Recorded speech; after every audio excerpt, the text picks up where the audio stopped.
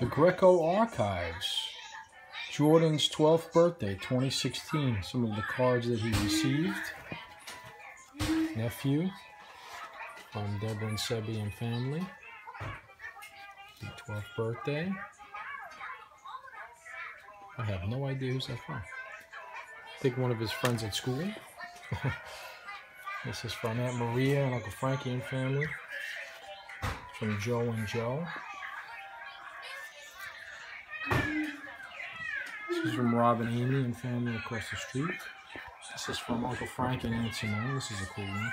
Hot dog.